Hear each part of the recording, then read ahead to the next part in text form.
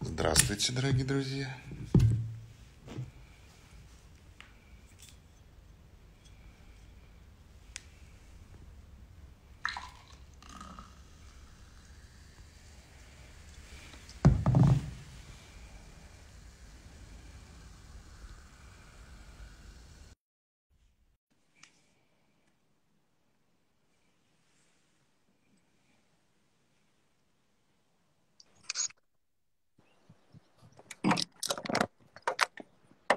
Здравствуйте, Татьяна. Здравствуйте, Геннадий. Как вы? Я, видишь, в резервной студии. А, я вижу. Полоску. Студия в полоску, назовем ее так. Студия в полоску. Я вижу. Не такая жаркая. Я вижу. А я в э, резервной студии «Ромашка» называется сегодня. Павильон э, съемочный называется «Ромашки». У меня э, жажда, жажда. Борюсь с жаждой. Ну и как? Кто побеждает? А пока побеждает жажда. Поняла. На то она и жажда, чтобы ей побеждать. А я, бою, я борюсь э, с помощью жа, э, с жаждой, с помощью лунгчина. И это уже с утра происходит. И затем у меня был тайпинг хоукуй это глаженный, мой любимый зеленый глаженный чай. Ну, Поэтому ну, я его продолжаю. тоже глаженный, его тоже жарят на сковородах. Понимаю, понимаю, понимаю, понимаю. Тебе нравится все отглаженное? Отнюдь, нет, нет. Мне нравится наоборот, э, мне нравится наоборот. Но ну, мне очень нравится все ветром отглаженное. А что, в Москве такая жара? Как-то разошлось все, да. Но, послушай, разошлось все так, что я благодаря нашей теме провела полдня в каталогах Рокфеллерского аукциона.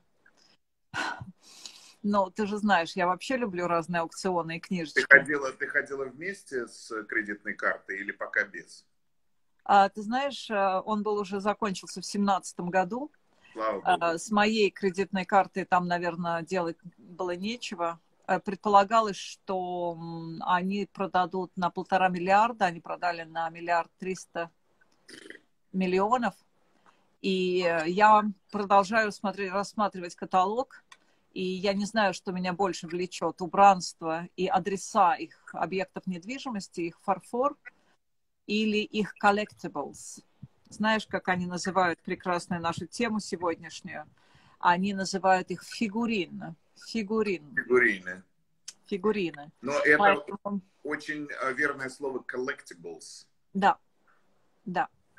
И это же везде, знаешь, в каждом нашем с тобой онлайн-магазине всегда есть шикарные collectibles, которые трудно атрибутировать, ну, потому что серебро столовое необходимо, ты знаешь, что кожаные аксессуары необходимы, знаешь, что ковры без них никак, ножкам холодно. А collectibles – это то, без чего ты вполне можешь обойтись, но без чего ты жить не можешь. Это вот такая прекрасная история, которая действительно так или иначе тебе определенно, но мне, например, мои самые первые collectibles достались от бабушки, от родителей. И, слава богу, это был не орел на телевизор, но это были слоны, такой же слон, как у тебя. У тебя он белый, в белье слон, а у меня был слон, слон серый. И, наверное, такой главный трофей моей жизни, понятно, что это то колечко с рубином, которое мне досталось от Амалии Рютберг, но есть у меня и Снегурочка, которую я уже в октябре, знаешь, как только Нейман Маркус начинает рождественские украшения, я достаю свою снегурочку сама себе, и мне ее торговать не нужно, но все равно я жду сезон, когда я могу достать свою снегурочку. Это твое рождественское украшение? Да, это мое рождественское украшение, это мое, это Central Piece, она подходит по... Их так умело в свое время были такие красивые набор красок, палет красок, что они подходят всегда и ко всему, независимо. И она настолько добрая, эта статуэтка. Как ты знаешь, белье делали одни заводы, расписывали другое, другие, как часто бывает. Ну, я в в ширпотребе. И рожицы у фигурок были тоже разные. И вот сейчас, когда я прихожу в комиссионные магазины, которые я по-прежнему люблю, и с них начинаю очень многие города, потому что у меня есть на главной, городе, на главной улице каждого города есть такой особенный адрес, где меня знают и куда я прихожу. И я сразу смотрю, я знаю их, как называется каждая статуэтка, но вот выражение лица мне нужно добиться, чтобы этот пионер все-таки улыбался, а не такой все, что мы только что выбили зуб. Разные люди расписывали, наверное, в разном состоянии души, может быть, аврал перед праздником. Поэтому, поэтому коллектор... Кто-то доказывает, что это все живые вещи, сделанные живыми людьми от руки. И это, это идеально. Знаешь, а, мастера, мастера, ювелиры, которые расписывают мои броши, эмаль кладут и достигают этого оттенка полевого цветка. Ты знаешь, мне кажется, почему им очень нравится, они всячески стараются показать, что им очень нравится работать над моей коллекцией, потому как я думаю, что они расписывают и свои воспоминания детства. Ну, и да. это очень простые вещи, поэтому эм, и попадая в любой антикварный или комиссионный, знаешь, за стеклом всегда есть вот этот отдел collectibles. Это есть и в, Индо, в Индокитае всегда, да, это особенно ценные вещи, которые живут за стеклом. И без них не обходится ни один дом, сколько, ни один дом, сколько стран, наверное, столько культур, правда, но все страны входят, сходятся в одном, что эти collectibles эти фигурки фарфоровые, они и отличают один дом от другого. Они создают уют, их дарят детям, их дарят, потом их дети передаривают, они входят уже в новый, будут в новую семью. И с ними мало кто хочет расставаться. И да. я, например, привезла птичку из Новой Зеландии. Это был, наверное, 92 год. И это был просто художник, я даже не знаю его имени. И это была обычная мастерская гончарная, крошечная на Северном острове. И я привезла эту птичку, она живет, все переезды перетерпела птичка. Или мы с Леной Комаровой купили чудесную фигурку в Джардине Публиче в Милане. Правда, она не фарфоровая, она из э, э, металла, она поржавела на улице, но птичка живет и у Лены, и у меня. И это наш...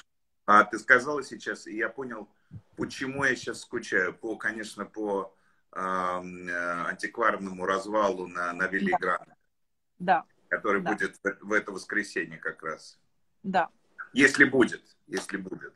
Да, да, я думаю, что будет. Они ждали так долго для того, чтобы все возобновить, но э, да, и э, это одни и те же люди, которые посещают по всей Италии есть график этих э, ярмарок, и это одни и те же люди, которые разворачивают. Ну, естественно, в Навиле приходят, это огромный, это значимый съезд, больше, наверное, только в Орезо по, по значимости в Италии.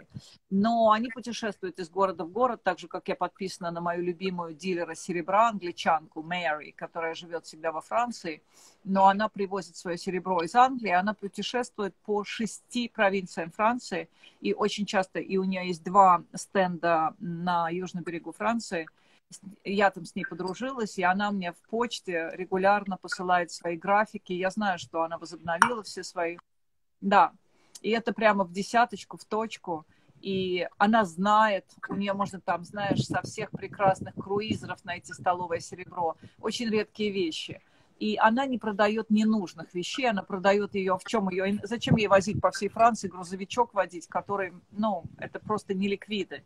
Она, наоборот, старается дости- что-то привести такое, что, чего действительно не производят современные мастера, чего невозможно купить в общем сете столового серебра, и в том числе, мне кажется, именно этими прекрасными collectibles а, фарфоровыми, и можно соединить скатерти, и бокалы, и фарфор, и все вместе, и сделать, но ведь не всегда бывают живые цветы. Иногда эти collectibles, стайка, стайка фигурок и становится таким central piece, без которого англичане не садятся за стол. Ты знаешь, а, вот то, что а, я упоминаю при каждом удобном случае а, Алена Дюкаса, да. А, он действительно за последние 25, наверное, 30 лет, он много чего совершил в, во французском fine dining е, то есть э, в мировых стандартах.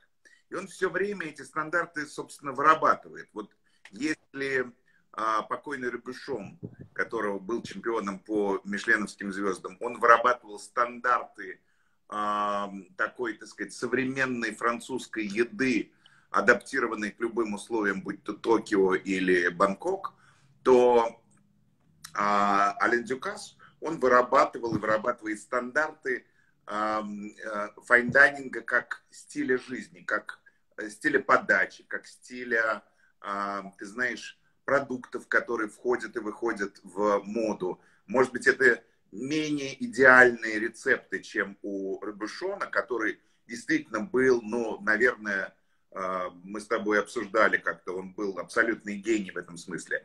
Но вот а, Дюкас, ты знаешь, он в какой-то момент в накрытии стола, а, произошло это лет 15, наверное, назад, он вернул Central Piece фарфоровый. Этого воробья? Он стал делать, ты знаешь, это не всегда воробей, это он, э, например... воробья. Ты помнишь, ты помнишь, э, ты помнишь наш тот э, ужин в Дорчестере? И это был мой первый ужин в Дюкасовском трехзвездочном ресторане. Я тебе рассказывал историю, как, как это происходило. Да? Это как раз я брал интервью у него на Маврикии. А, и мы что-то такое. Он говорит, какие у тебя планы на Рождество? Я говорю, я отправляюсь в Лондон. Почему ты зайди к нам в Дорчестер. Я говорю, ну, я, у меня встреча в, перед Рождеством а, с двумя прекрасными дамами.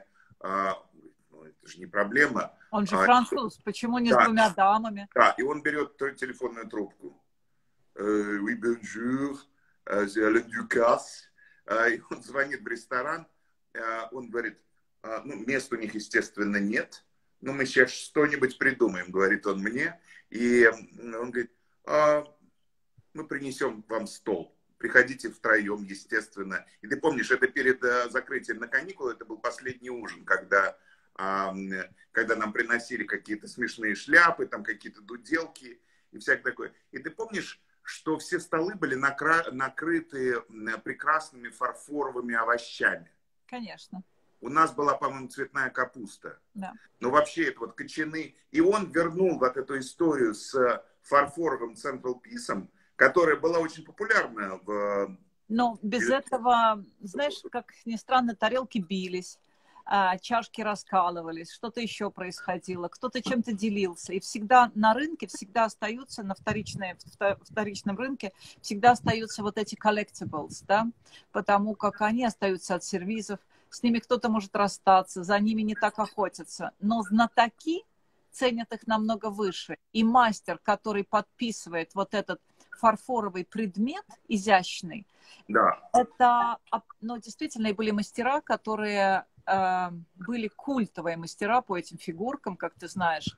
Это было и в Копенгагене, но не было бы Копенгагена, если, естественно, Йенсен, Даль Йенсен не учился бы, не работал бы, прости, он закончил э, э, Королевскую академию художеств, но работал он и в Дрездене, и в Берлине, верно?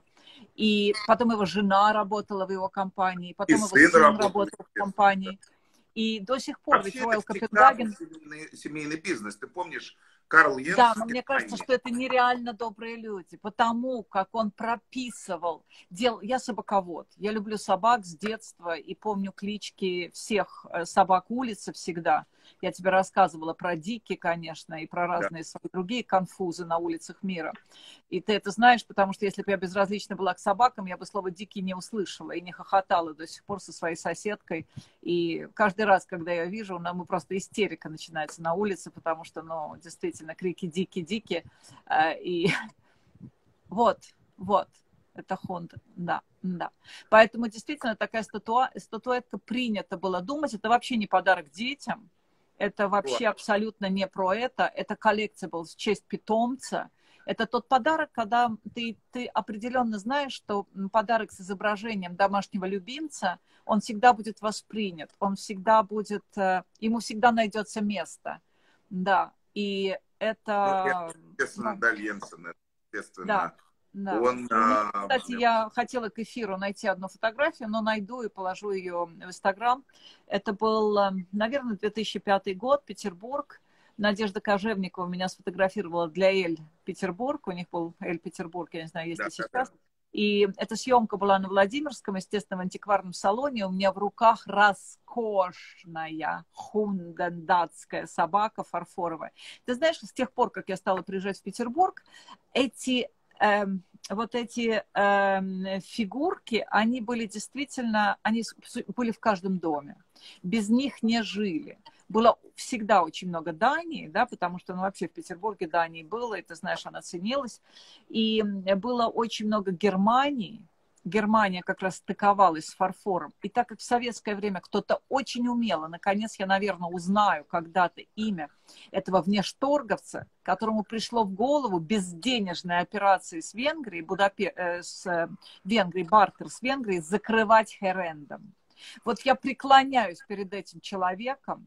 У него явно должен быть наследственный вкус, потому что королева Виктория получила херен. Ну, мы, мы с тобой знаем несколько бывших внешторговцев, да, но правила, все тем линиям, те, кого мы знаем, они пока такого не совершили, но тем не менее они сделали очень много революций в домашней утвари и в вине. Ты знаешь, мы любим этих людей и надеюсь, что когда-то мы сможем поговорить о них в эфире. И королева Виктория получила, естественно, обязательный дар на Всемирной выставке. И когда она увидела херендовский сервис, она сказала, ну, эта вещь так, так сегодня, с сегодняшнего дня я использую только херенд. И до сих пор Ее Величество э, внукам, правнукам дарит только Херенд. Ротшильды, прости, не Рокфеллеры, э, которых я изучала тут, э, а Ротшильды как раз, они пользовались Херендом, и кто и, и однажды и у баронессы... Херенд на твои рассказы. Боже мой, да что вы говорите? Что вы говорите? Смотри, какая она венгерская. Ей тоже жарко, ей тоже жарко, Геннадий. Она разделась, да. Она Но раз... ты знаешь, что я узнала в Харькове в художественной галерее, э, в художественном музее в отделении, э, в отделе фарфора и э, фарфора и посуды. Шикарная смотрительница, героиня моего романа, абсолютно достойный специалист, достойная дама. Она сказала, ну, конечно, это же мило. Это жены клали офицерам в походы для того, чтобы у них была ню всегда с собой. Так даже не было секс онлайн или прочих услуг, нечего было посмотреть онлайн. И они у себя в рюкзаке, как это называется, заплечный рюкзак офицера, да, царской армии, они всегда получали обнаженных статуэток, и это утилитарная вещь. Это утилитарная вещь абсолютно была. Поэтому, да, из Херенда вышла такая история, что Ротшильды э, однажды, ну, знаешь, э, двери от потолка до пола, распахнуты, и баронесса сказала, что украли ее колье. Похитили колье, она сняла его после чаепития, оставила на столе, и колье было похищено. Естественно, прислуга сказала, как никогда в жизни, ничего такого, ну, что вы, как вы можете подумать, в третьем поколении. Ну, в общем, было большое, большое недоразумение, и, в общем, это едва забылось, это мероприятие. Садовник весной на ветках дерева в саду нашел это ожерелье. Птицы украли его. И поэтому Ротшильды пришли, в, э, э, написали в Хайренд, и они нарисовали это ожерелье в рисунке каждого предмета сервиза. А знаешь, предметов сервиза 2000. И это называется действительно ожерелье, это очень известный. А история Херенда, ты знаешь, ручная работа в Венгрии ценилась всегда, э, э, э, стоимость ручной работы в Венгрии всегда была ниже, чем э, в Австрии, да, а Австрия это германская глина. Соответственно, просто вынесли, это еще даже на дань нашему любимому, еще причина поехать в Будапешт, я никогда не была в Херенде, это уникальный. И если мы сходим с ума от кобальтовой клетки, сетки, клетки, которой 25 лет исполнилось, об этом даже я знаю, что клеточке 25 лет, то я схожу с ума по херендовской рыболовецкой сети с 24 каратами золота. Это было всегда с 1895 года, это всегда было. И в фигурках самый большой, наверное, в моем э, багаже знаний, это именно херенд. У них столько линий фигурок, там есть водоплавающие, пользующие, антилопы, рыбки, клопы, мухи, все что угодно. Угадай, кто из нами с тобой знакомых нам с тобой американцев, не лично знакомым, я его никогда не видела. Ты знаешь, я Пир, Пир, Пирса Броснана видела, и я видела Боно и многих других мужчин, но не видела никогда этого героя. Актер, американец австрийского происхождения. Но Шварценеггер самый большой коллекционер фигурок Херенда. Легко поверю. Он человек тонкой душевной организации. Австрийской организации души. Да. Австрийской. Да. тебе намекнул. А, соответственно, да, корни да, им никогда не было, они никогда... Ну, послушай, я в декабре был в Вене, я сходил, посмотрел коллекцию вот этих Нецки, э, да. знаменитую. Да. И это абсолютно, конечно, прекрасно, которая описана в книжке э, «Заяц с янтарными глазами». Совершенно, совершенно замечательно. В Еврейском музее в Вене э, была эта выставка. Как это замечательно. Вообще, вот в этом интересно еще различие. Есть совсем мелкая пластика, или вот что-то такое, что ты,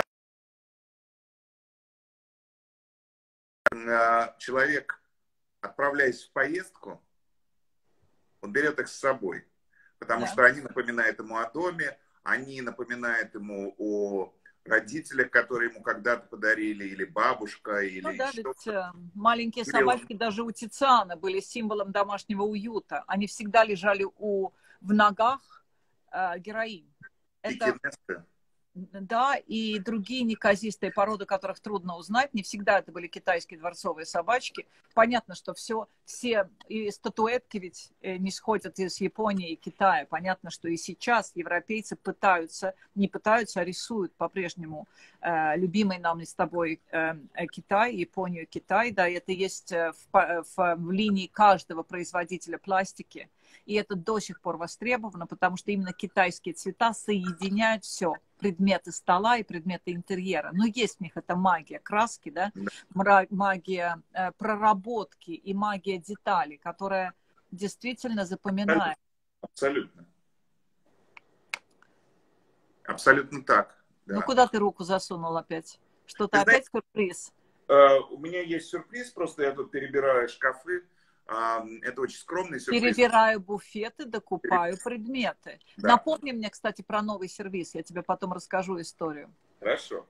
Значит, я был, когда я был первый раз на острове Иске, ну, ты видела у меня много раз эту тарелку, а, производство а, керамистов компании Минелло, по-моему, сейчас уже не существующий. Это такие традиционные итальянские цвета, это не...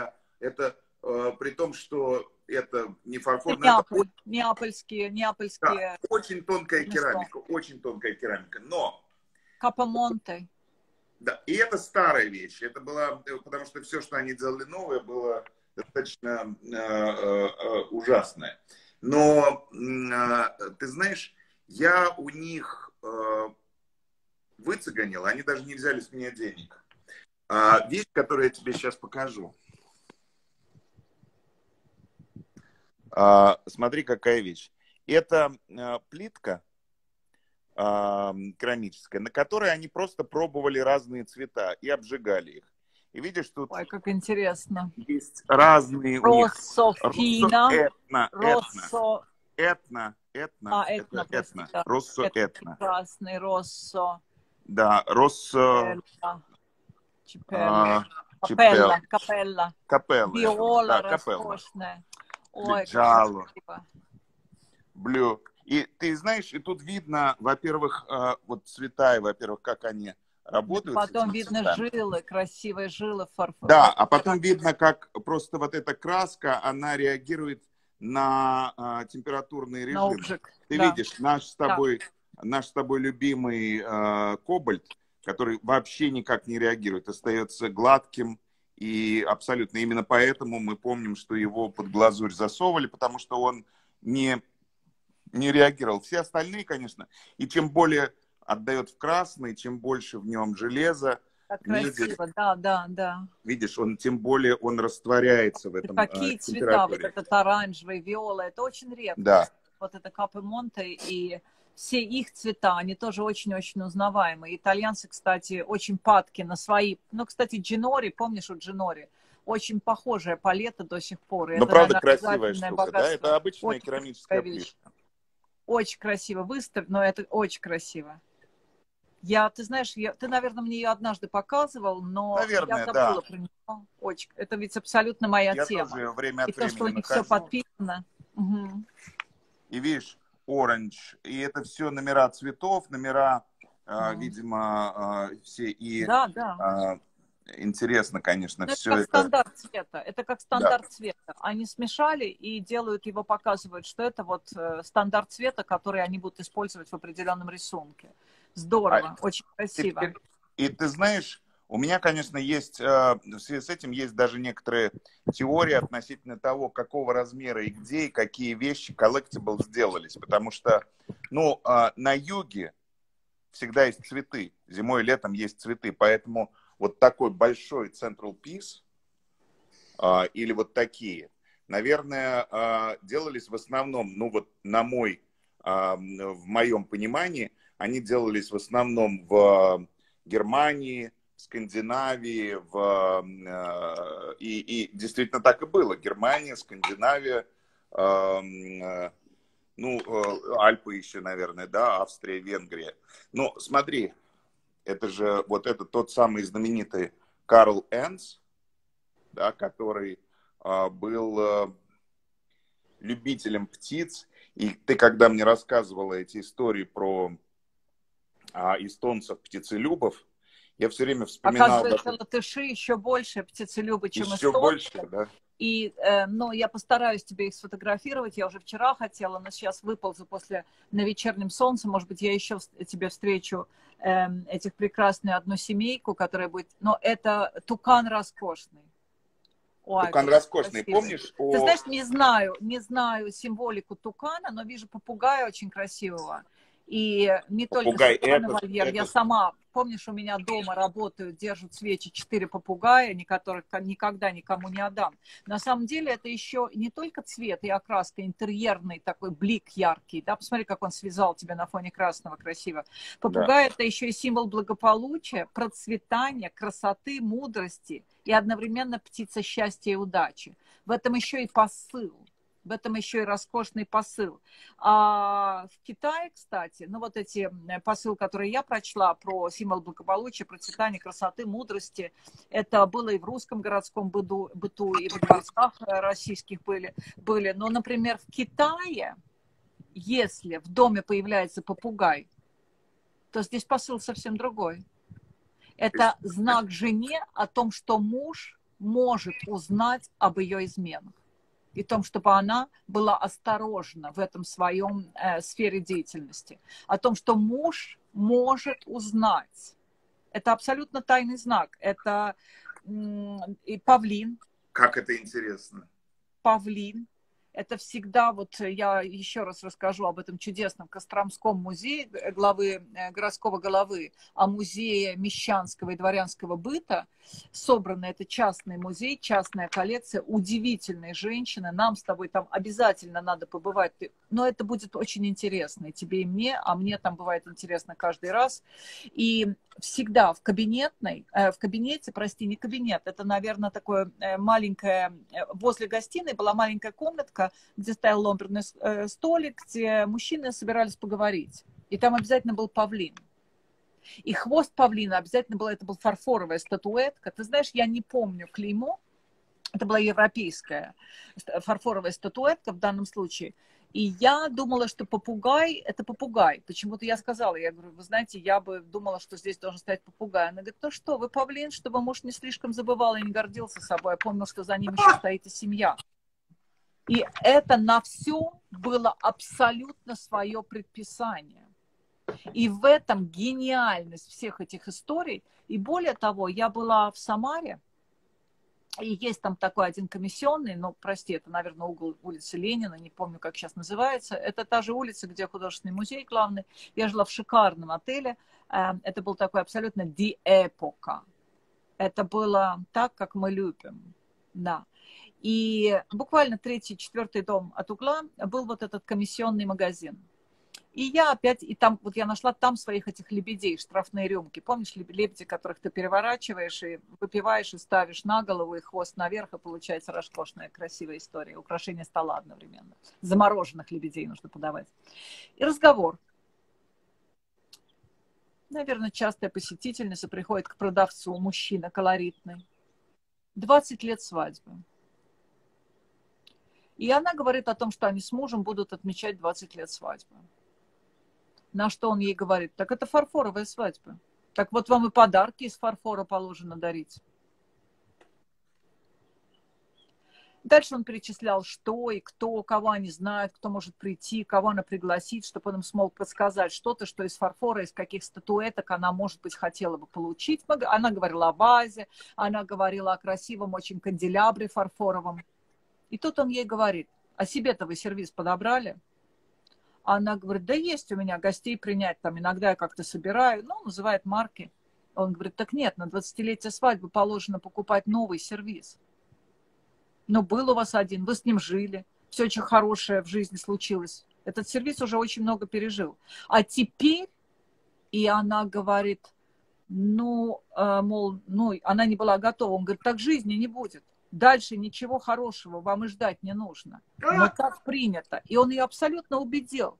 И ты знаешь, и я, он понял, что я слушаю, потому что ну, я не могла себя не выдать, в каких бы очках я ни была, но я, естественно, выдалась свое внимание. И он говорил, ну а что, так же хрупко, так же ценно, так же ручная работа, так же это все надо беречь. А что иначе тогда получится? Ничего. И я пришла в отель, и я залезла в интернет, и я нашла все эти роскошные истории, и действительно 20 лет, ну, раньше ты понимаешь, дама была моего возраста, наверное, в последний курс, замужество, 20 эм, лет, первые внуки, все у нее уже было за это время. И она действительно задумалась, и он ей так атрибутировал всю эту историю, что если она сейчас до 20-летия свадьбы не успеет оформить новый сервис, то дальше и все это молодой достанется. Ну, естественно, все народные приметы. У него я не посмотрела даже, я так смутилась, мне так понравилась эта история, я схватила этот опыт за хвост и уже понесла его дальше. Я забыла посмотреть, какие у него были сервизы и что вообще он собирался, и к чему он эту всю историю ее подводил. Но это действительно, я нашла эту примету, я нашла эту традицию, она действительно есть, поэтому все точно так же это, это изящество, это терпение, все то, что расписать фарфор, то, что произвести хороший фарфор, да, это должны невидимо шероховатости, они не должны быть внешне видны, все это очень изящно, и обращаться с этим надо осторожно, и хранить это надо уметь. И вот эта вся история мне, конечно, очень-очень-очень понравилась. Поэтому, поэтому у этих фарфоров нас спрашивают, как, э, как использовать фарфоровые статуэтки. Но, может быть, кто-то не понимает, что такое central piece. Это центр стола мы можем безупречно расставить салфеточки, мы, э, прости, тарелочки, мы можем отцентровать и на полтора пальца от края стола, и мы можем отцентровать вилочки, ножички, ложечки и прочее.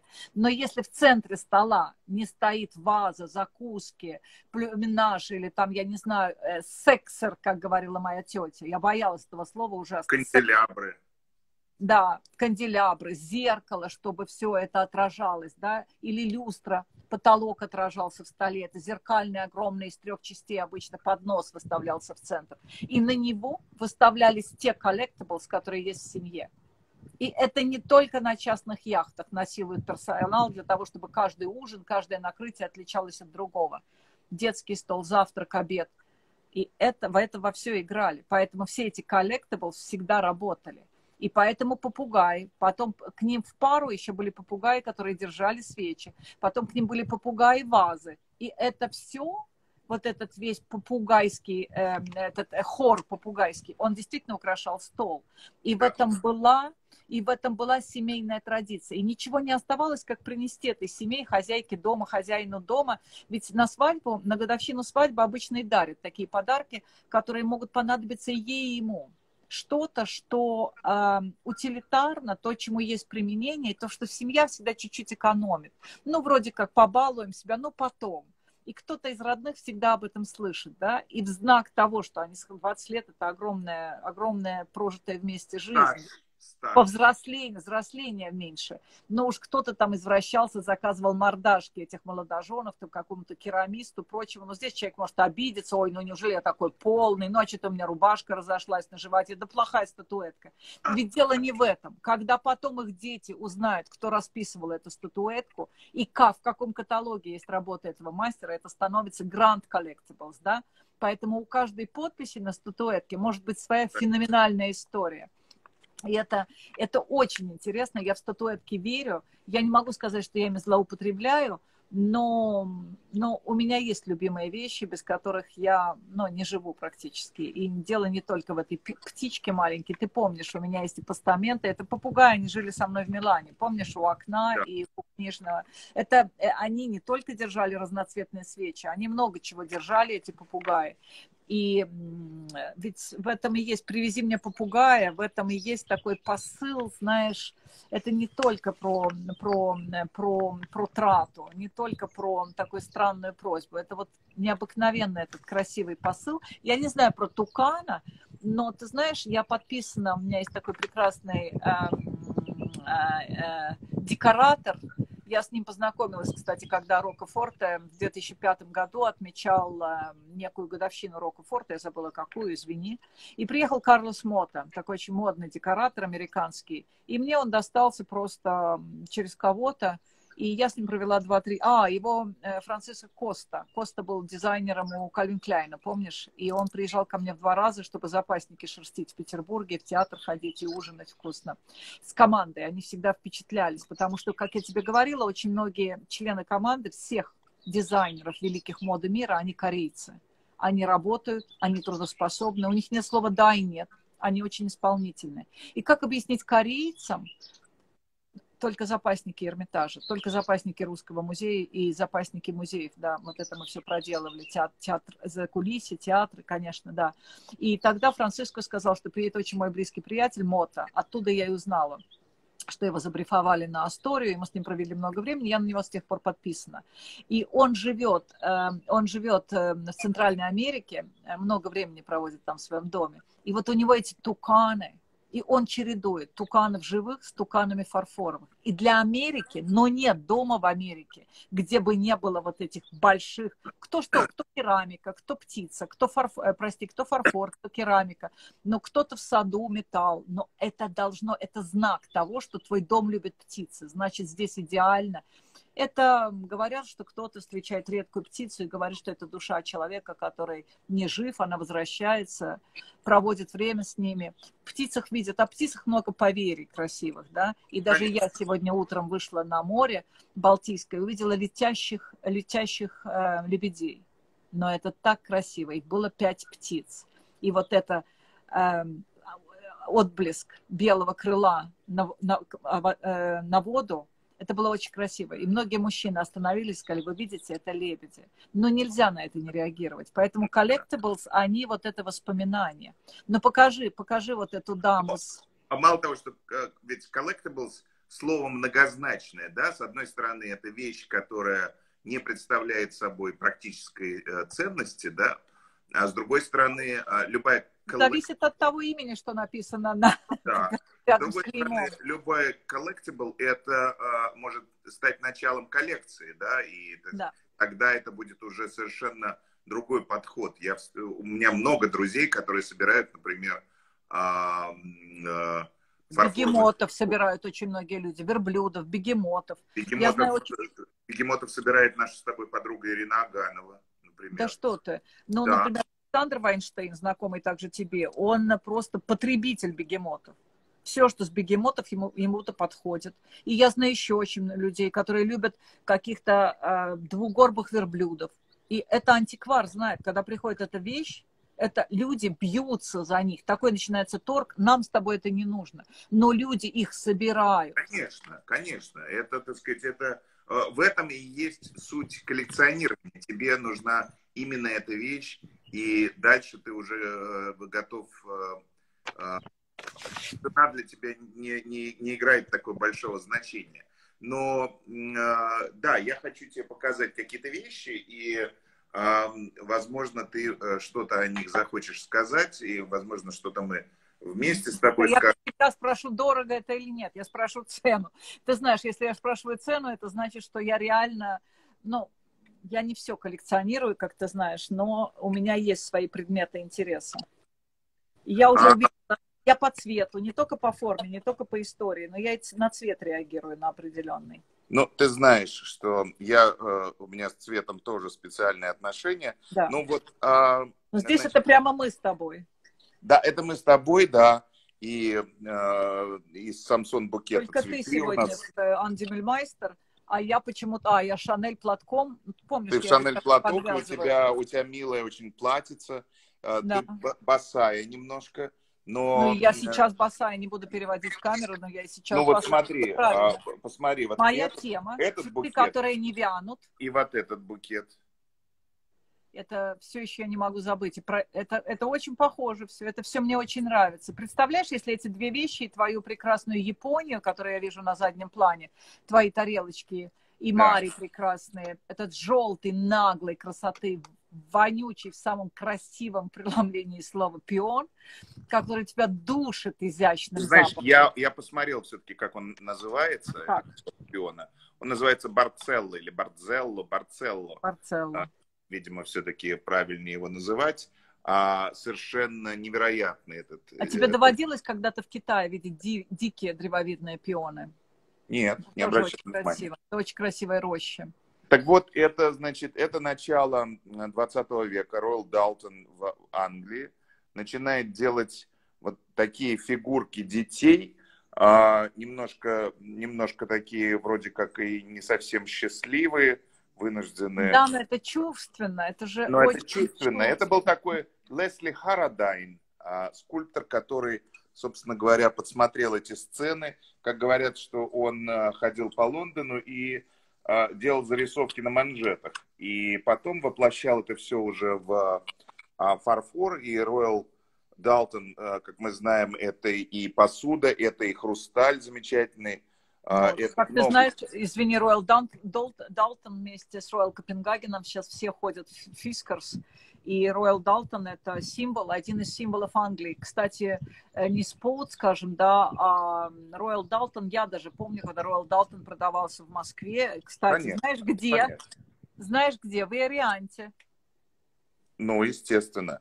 А вот, а, вот этот вот а, милый Роyal Далтон. А, Ой, как красиво. А но, как он рисует ткань, как он лепит? Да, но а, ты знаешь, как называется это? Ведь тут еще Нет. надо иметь в виду английский юмор. Это называется Little Pig. Да, ну так, э, да, да, но и помимо того было, и были еще статуэтки, которые были посвящены абсолютно пиглетам, поросятам, а это вот, А это целая серия была у Ройл Далтон, таких, а, знаешь, типажей английские, шотландские, вот это называется Lobster Man. Видишь, у него голубой лобстер, blue lobster. Геннадий, цвет э, одет лобстермен, так что Ком де Гарсон, наверное, завидует ему. Абсолютно, абсолютно. Нет, ну вообще, тут посмотри, какой...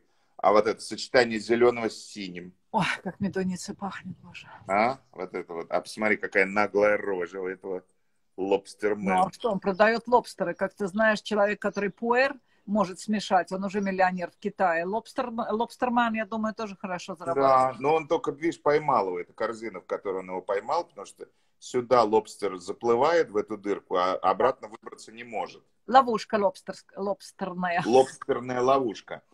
А, ну, Какая вот работа, из... какие цвета. Да вообще, ну, потрясающе. Ты знаешь, ведь я до сих пор реагирую на фигурки гарнеровские и ФЗ, э, э, фигурки народно, народности России и народности народности. И каждый раз, когда у меня тянется рука, я смотрю на ценник и ставлю это все обратно. Поэтому да. я на фигурки Но, реагирую. А... Мне нравится. Что еще интересно про а, фарфоровые фигурки, они в основном сделаны с подглазурной росписью, то есть они очень стойкие, потому что ее нельзя было, ее нельзя было при высокой температуре обжигать, но, а, как известно, со скульптуры не едят, и в посудомоечной машине ее не моют. Ну, пыль а, только нужно от пыли ее освобождать. Да.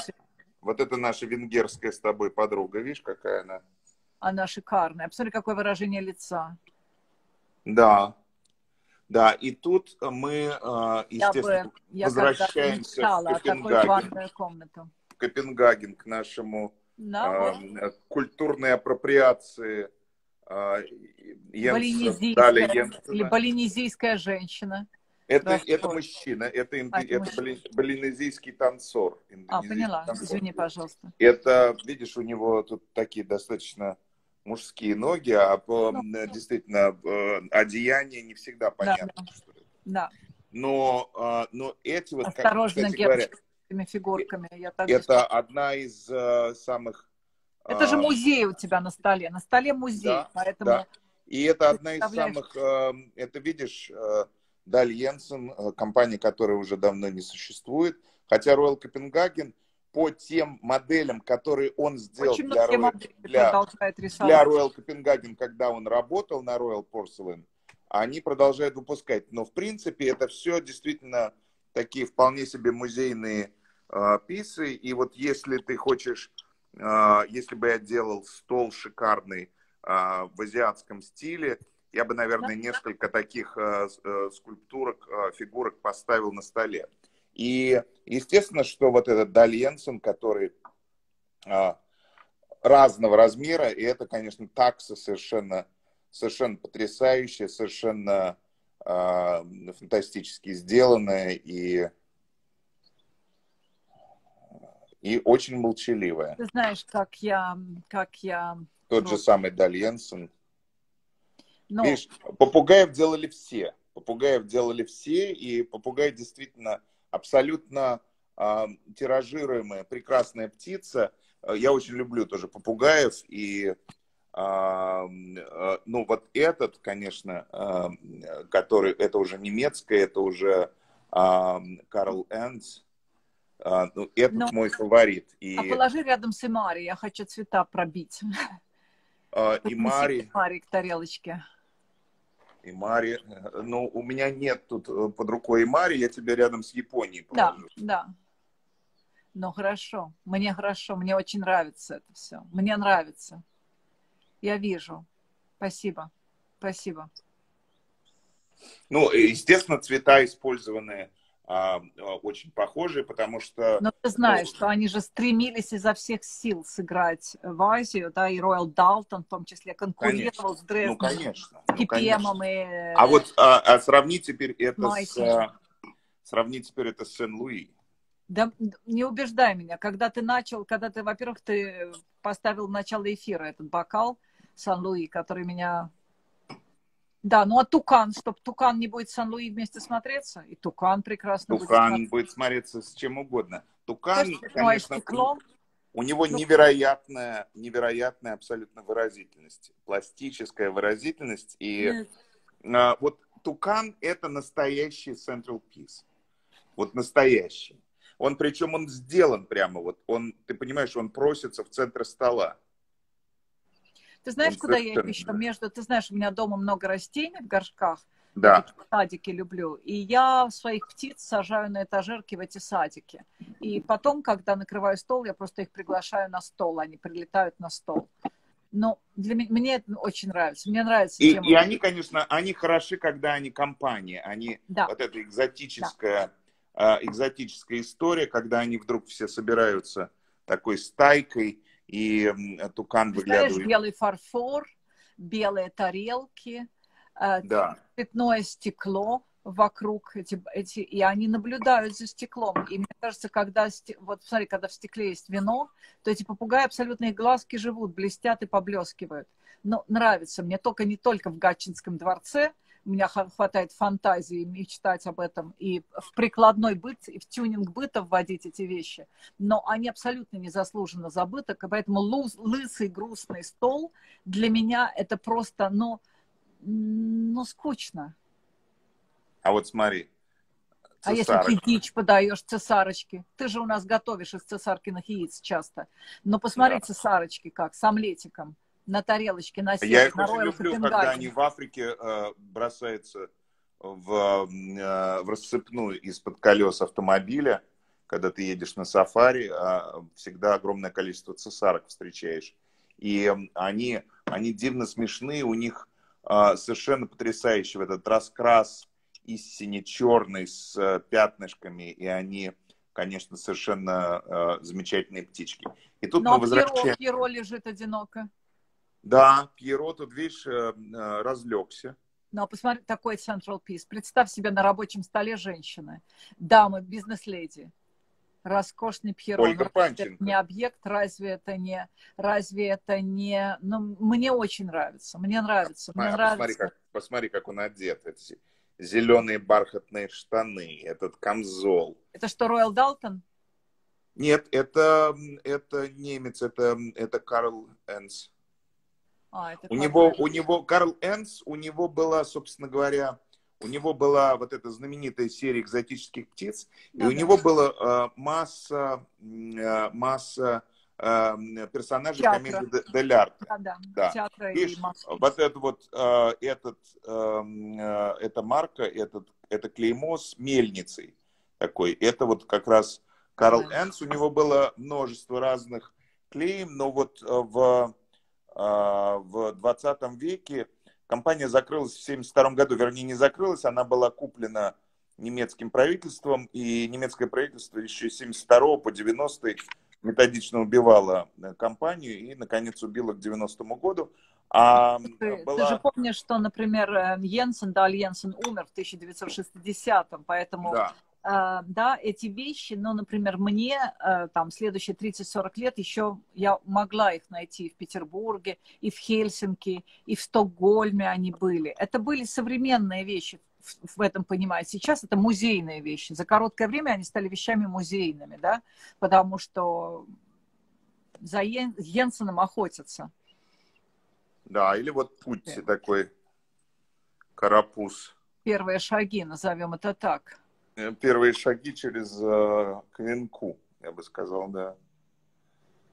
Нереальная мимика, нереальная, очень красиво. Да, ну, ну это потрясающая пластика, конечно, как это, а, это же все невероятно сделано. И а, а, хорош, это, ты понимаешь всегда в фарфоровой скульптуре, что это всегда соединение очень хорошей скульптуры, очень хорошей работы скульптора – с невероятной работой колориста, потому что художник, который расписывает, а, и это же всегда краски, которые должны выдержать обжиг, и это всегда а, цвет глазури, который все это покрывает. Ну, посмотри, а, это вот все, что мы видим, да, ну, может быть, возможно, это мой выбор такой, немножко не самый кричащий тона, но я, честно говоря, вот эту хорошую скульптуру, я не видел ее в особенно кричащих тонах, я не видел, она всегда вот такая немножко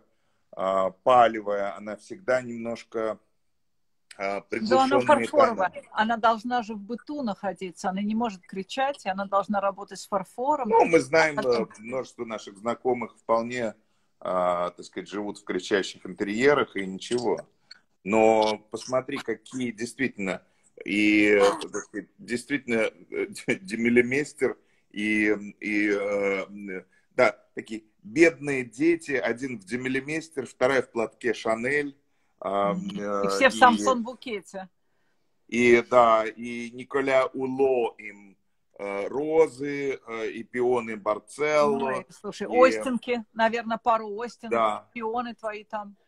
И, и Настя все это дело собрала в букеты и сложила в, в корзинке. А, ну, знаешь, шикарно. я вижу это и в минимализме, я вижу это и в хай-теке, я вижу это и в... Да-да, это вещь, Я которая... абсолютно это вижу. Это абсолютно... абсолютно городские предметы городского быта для меня. И они мне очень-очень нравятся, я их люблю. И эм, ты знаешь, даже на нашем с тобой прекрасном Москва Соловки, помнишь, как мы выбирали с тобой эту маленькую опять пластику, и ну, на нее нельзя, это моя эмоция, я не могу на нее не реагировать. Я, конечно, помню все эти, по, по, как это называется, поверья. И, э, ну, понравилась тебе история про 20-летнюю, про свадьбу, годовщину 20 Шикарная, шикарная. Это шикарная. как можно такие истории не любить? Ну, скажи, где бы я это услышала? В автобусе я так в городском не езжу, чтобы... Ну, и потом, как в городском э, автобусе иметь такой, услышать такой диалог? Шикарно. Поэтому это просто ну, антиквар на блошином рынке такого не расскажет. А вот этот актер, вот этот держатель этого, и смотритель, скорее всего, смотритель. Ну, например, мои эти прекрасные гусь-хрустальные лебеди стоили там, ну, например, по 19 рублей, понимаешь? И это все пара. Он говорит, но вещь парная да, как будто я за нее платила по 19 тысяч рублей или там по миллиону 900 тысяч. Я говорю, да, я понимаю, парная по 19 это уже намного дороже, чем 38. Да, он говорит, хорошо, что вы понимаете, то есть он меня поощрил, Он меня поощрил. И с тех пор, но я не так часто приезжаю в Самару, но если мы попросим Ингуля Кадо наблюдать... Я никогда не был. Я никогда не был. Это обязательно. Это очень красиво, это надо. Это одна из самых для меня красивых волжских набережных. Это красиво. Это красиво, и в музей нам нужно там пойти. И потом сейчас у нас столько с тобой адресов в Самаре, что и есть с кем поговорить. Нам скучно в Самаре не будет. И художники есть, и прекрасные, есть и рестораторы. И, послушай, Тольятти, Самара – это сейчас единое целое, поэтому, когда я летаю в самолете в Самару, я единственная женского пола. Дама, остальные все бизнесмены, мужчины с лаптопами, с костюмами прекрасных тебе известных портных перелетают из Москвы в Самару и вечером же летят обратно после важной встречи. Поэтому рынок там есть, э, пейзажи роскошные.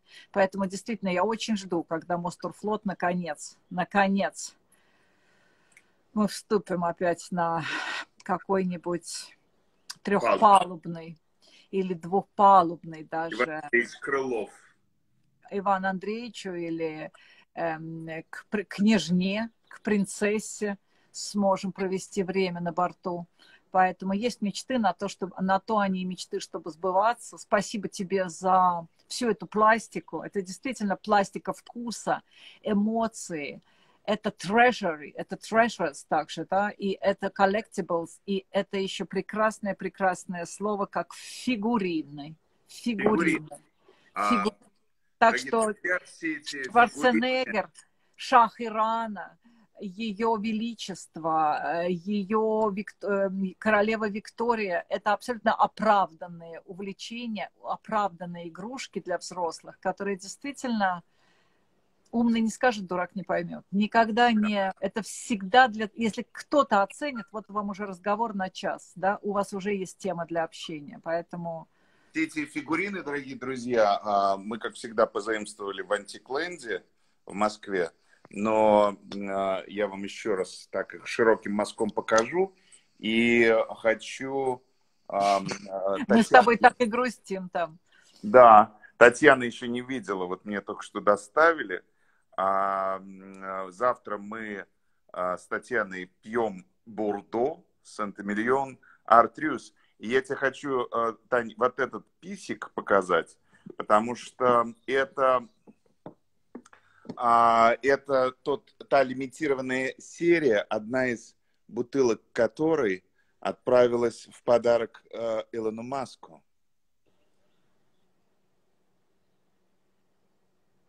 Геннадий, скорее бы завтра. С нами Бог. Анатолий Николаевич Ганкевич, автор этой картины э, из серии «Артрюс». И мы завтра вам все расскажем про а, миллион и про... Я уже, у меня есть более, но в моем стиле я буду завтра опять босиком на этикетке, так что жду завтра, Геннадий. Целую крепко. Спасибо всем за прекрасный эфир 24 июня. Я еще раз наш... Я прошу, покажи мне, покажи мне туканов двух и попугая. Нет, тукан один. А, тукан один. Попугая, да. Тукан один, он же с пионом Барцелло. Ну, туканы, пионы, это так хорошо вместе. Да, они всегда как бы они не подрались. А, а посмотри, а посмотри, как а, на него смотрят эти самые... Вот э, хот... дело. Ведь хотел это сказать, пингвины, пингвины, да. хотел сказать, да, попугаи как повернулись, смотри, оба ага. повернули ага. головы. Как бы своры смотрят. не было, Геннадий, как бы фарфоровой своры сейчас не было. Да как будет. бы это в черепки не разбило. И бедный, и бедный Ой. Не говори, не говори под руку.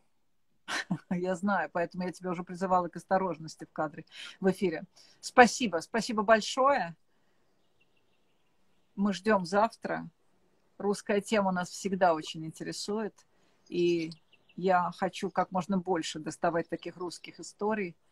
И до завтра. Всего самого доброго. До завтра, Таня. И а, приветы Латвии, а, прекрасным ромашкам, которые у тебя стоят. Да. И да. А, и цветы, которые не вянут. Я тебя обнимаю, и тебе привет от э, мадам Галины, которая гуляет сегодня по набережной и э, э, спрашивала, э, полезет ли Таня в море в такой холод, потому что, говорит, Таня нас... два раза была в море, и Таня сейчас следует на море, Таня лежала бы в дюнах, если бы не эфир. И Таня просто большой комплимент. Но если я видела лебедей, если я вчера прошла мимо, наверное, 20 костров красивых, которые были сложены разными, я тебе все расскажу. Очень много свидания. красивых наблюдений по тюнингу быта и по другим историям. И пять, пять летящих лебедей низко над водой я бы